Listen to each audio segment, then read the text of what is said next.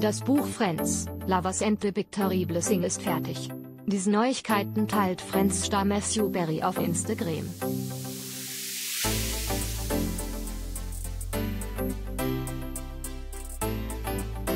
Fans der Serie Friends dürften sich über diese Neuigkeiten freuen. Matthew Perry, 52, der in der Kultserie Chandler Bing verkörperte, hat seine Memoiren fertig geschrieben.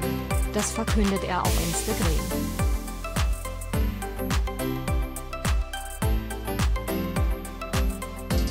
Meinem Ego gefällt es nicht, dass ich aufhören muss, über mich selbst zu schreiben, spottet der Schauspieler dort. Auf einem Foto dazu ist ein Stapel Papier zu sehen, auf dessen Vorderseite der Titel seines Buches Friends, Lovers and the Big Terrible Thing zu lesen ist. Aber das Buch ist fertig. Also das war's, fügt er dem hinzu.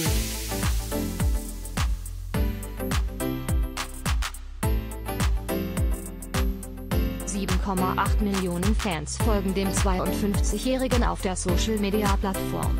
Einige von ihnen drücken ihre Vorfreude über das Buch in den Kommentaren aus und schreiben unter anderem wie eine Folge, in der Chandler ein Buch schrieb oder könnte ich mich mehr auf dieses Buch freuen? In Referenz zu seinem Friends-Kult-Charakter.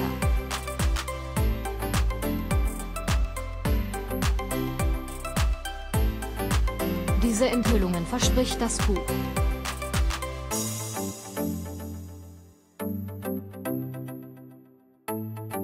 Im Oktober 2021 gab Matthew Berry erstmals bekannt, an seiner Autobiografie zu arbeiten. Darin wolle er über sein Leben und seine Karriere berichten, hieß es. Im Februar 2022 folgten Titel und weitere Details über das Buch, das am 1. November dieses Jahres erscheinen soll. In Friends, Lovers and the Big Terrible auf Deutsch etwa Freunde, Liebhaber und die große, schreckliche Sache, nehme Perry die Leser mit auf die Bühne der erfolgreichsten Sitcom aller Zeiten und erzählt von seinem privaten Kampf mit der Sucht, heißt es im Ankündigungstext des Verlages Flatiron. Während seiner Karriere kämpfte Barry immer wieder mit Drogenproblemen.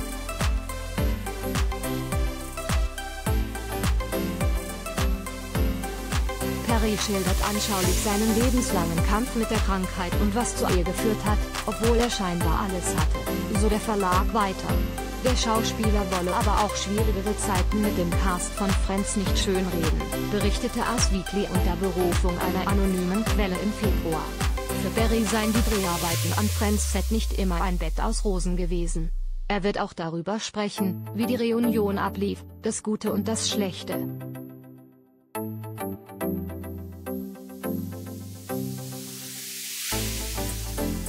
In der Vergangenheit wurde schon so viel über mich geschrieben. Ich dachte, es wäre an der Zeit, dass die Leute es von mir hören, schrieb Perry damals selbst auf Instagram. Die Höhepunkte waren hoch, die Tiefpunkte tief. Aber ich habe überlegt, um die Geschichte zu erzählen, auch wenn es manchmal so aussah, als würde ich es nicht schaffen.